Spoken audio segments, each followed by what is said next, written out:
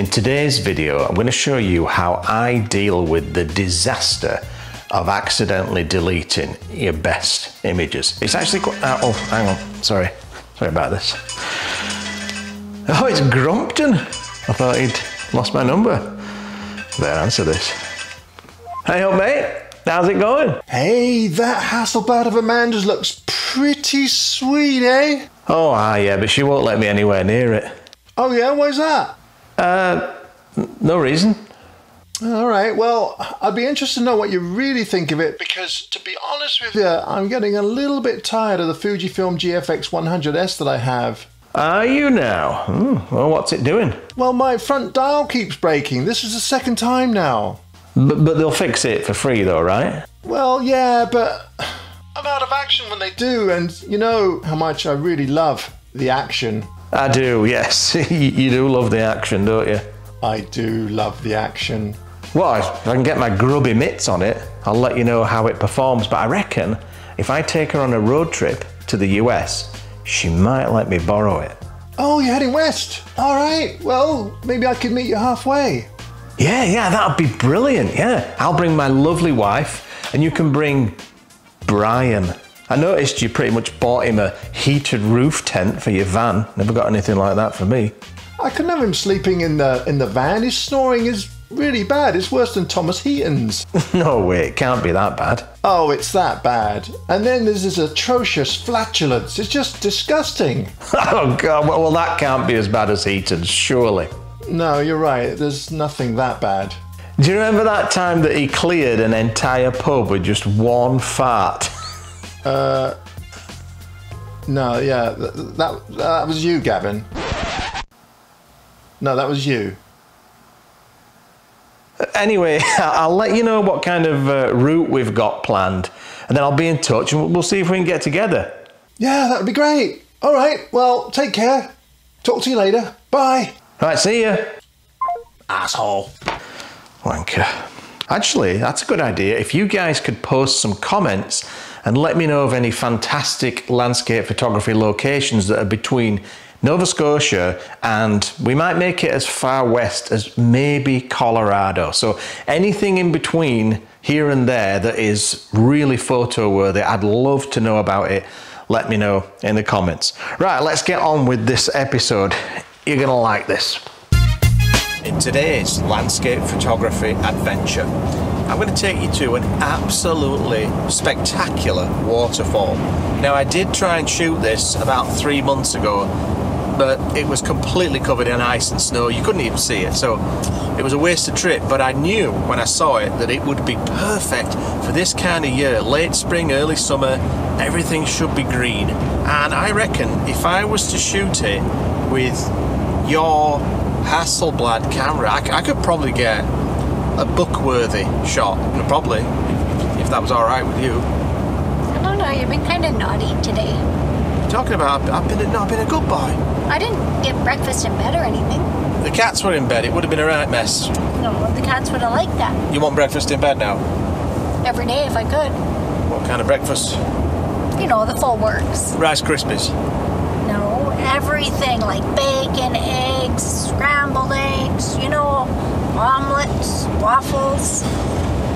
Anyway, maybe I'll just use my camera today. We'll see. See how it looks. You know, depends what kind of focal length is required. Uh, we'll see.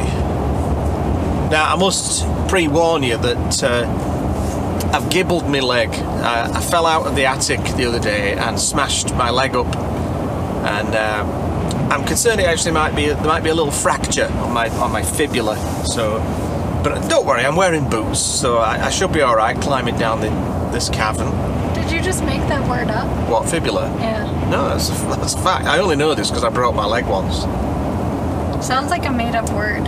Fibula. I don't think I have one. You have two. I don't think so. Anyway, if, if you think I look a bit weird staggering down this hill, that's the reason why. Like a bow-legged aardvark, I shambled carefully down the slope and then crossed the creek with the agility of a sloth plagued by chronic hemorrhoids.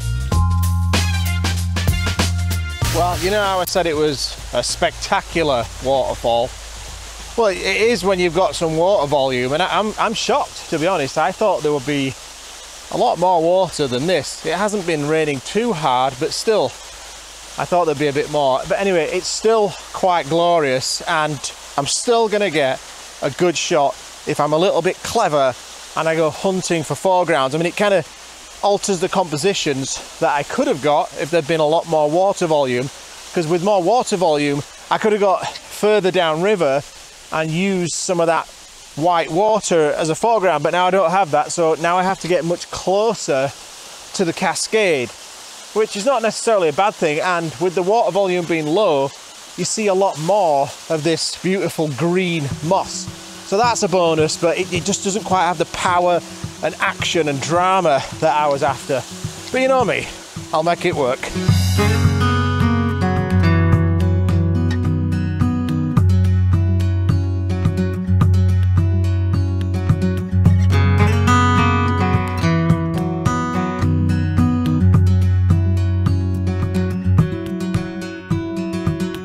Okay, no sooner than I got the drone up in the air and got a few clips, the heavens opened up and now everything is drenched. I didn't, I didn't bring my rain jacket. Thought I did, but, but I didn't.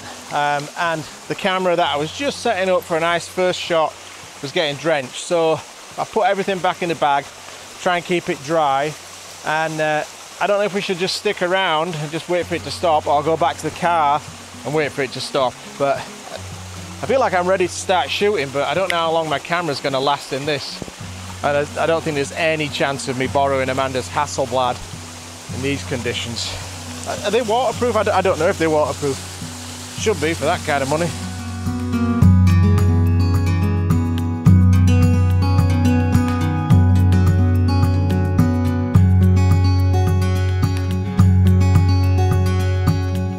Right, one of the beautiful things about my wonderful wife is that she's always able to turn a negative into a positive. And what she's done is she's found a spectacular use for this absolutely fantastic book. I don't know if you've ever heard of it, but it's called Chasing Awe with Gavin Hardcastle. There's a link in the description. Not only is it just a fantastic read with some amazing pictures, but it's also a really good charcuterie board. And as you can see here, a rain shield when, uh, when it's pouring down and you just don't want your camera to get drenched. Just multiple uses. And you're doing a really good job there, Lou. I appreciate that. So I've managed to frame up quite a nice composition. And now that we've found this, I mean, the Hasselblad will be totally fine underneath this, right? No, I don't think it's. I, I think it would. Just, there you go. That's good. I think it, it, you probably would, love. I don't think it would be happy today. Yeah, um, well, it's, it's a really good way to test it. it's still getting wet. Anyway, let me show you this shot that I've framed up. I think you're gonna like this. So there's the waterfall, obviously. What I wanted to do is put something else of interest in this shot. So I found this fairly gnarly tree. It's got a really nice root system coming in from the left there, just to kind of frame what's going on in the scene. And I've got these foreground rocks here, which I also quite like, but I feel like there's a bit too much of them. So I might actually just crop that down a little bit just to simplify it. So it could end up being a 16 by 9 by the time I finish with this shot. How long do you think this shot will take? I know it's probably like a two second exposure. So two hours? I don't know. Why? Well, my arm's already given out. I'll, I'll help you. There you go. I take the strain off you. Right, anyway, if this shot turns out to be half decent, probably not good as the Hasselblad that I'm going to do next, but you know, half decent, here's the shot.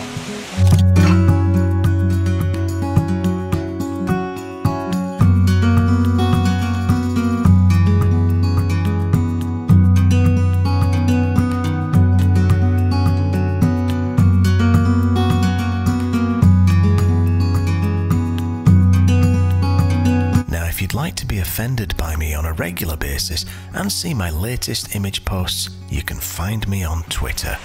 So I'm quite happy with how that shot turned out, but there was a few other little compositions I got from earlier that I'm going to try and find now on the back of... Oh no! I've deleted them. They're not showing up, or, or something's probably gone wrong with the memory card, love. So I don't, I don't know if I can trust this camera. I've been abusing it quite a lot over the last four years, so going to use mine. No, I think I'm going to have to because if you look back at some of my old videos, you can see how sketcherous this, this camera has been in, in extreme conditions, especially moisture. So, I mean, I, I for this shoot, love, I, I don't know if it's going to cut the mustard, and I think we should probably just crack out your camera. You think you've been good enough, though? I've been good, yeah. Do I get a little treat on the way home? What do you want? Meat? You'll get a meat treat. I didn't mean it like that. Did I? Want pepperoni? You'll get a pepperoni. I didn't ask for kielbasa. there you go. All right, so can we try your camera now? I guess so. I wonder what's gone wrong with my memory card. It's, it's done this to me before, randomly deleting images and having problems. This is the perfect opportunity to mention this video's sponsor, Recoverit by Wondershare. If, like me, you've been a bit silly and accidentally deleted your video or image files, relax, for all is not lost. With Recoverit, you can actually recover lost or deleted files simply by performing a quick scan. It can even repair corrupted files. You can try it for free right now and also participate in the giveaway to possibly win free prizes. You'll find links in the description below. Recoverit is your data recovery lifesaver and an essential tool for clueless landscape photographers like me. Just don't tell Amanda until I've had a right good play with that camera. Does that mean I have to stay like this, though? Yeah, just only like two or three more hours and then we'll be done. Finally, I get my grubby mitts on Amanda's glorious looking Hasselblad medium format. Well, I just reshot that image and I've got to say, from what I can see on the back of the camera, the image quality on this is absolutely obscene.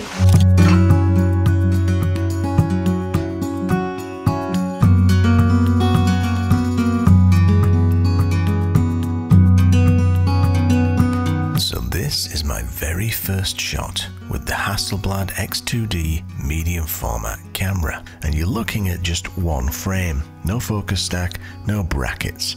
Not a bad first shot, but I knew I could do better.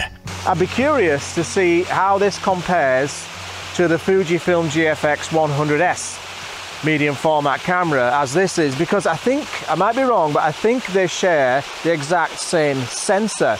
So what would make this different other than the interface? So if you want to see me do a comparison video for that, post a comment below and let me know if that's something you'd be interested in. And if it is, what specifically would you like to see compared between those two? As far as I can tell, brilliant cameras. Now that it's stopped raining, I feel like I can move around a bit more freely. So I'm gonna get a little bit closer to this, this tree here. You see this thing? Because I really like this root system. So I'm gonna try and get closer to that and maybe do a focus stack and see how challenging that is with this ridiculously expensive camera.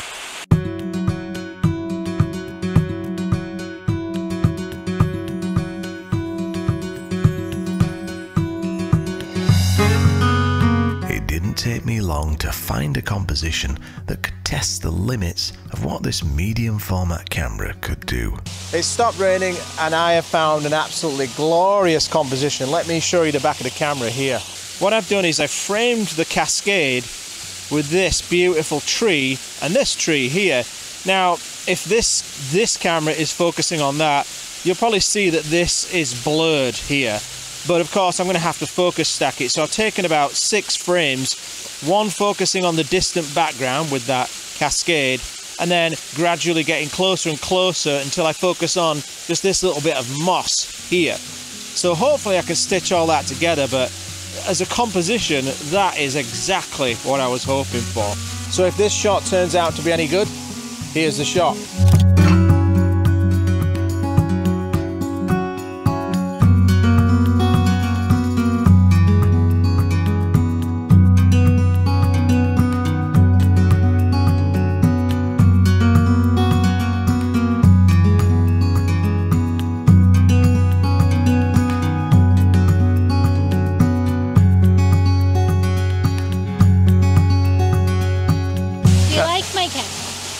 All right, you know. It's a bit, bit weird. It's a bit quirky. It takes a bit of getting used to, and I, I'm not fully used to it yet. But you know, could get used to it.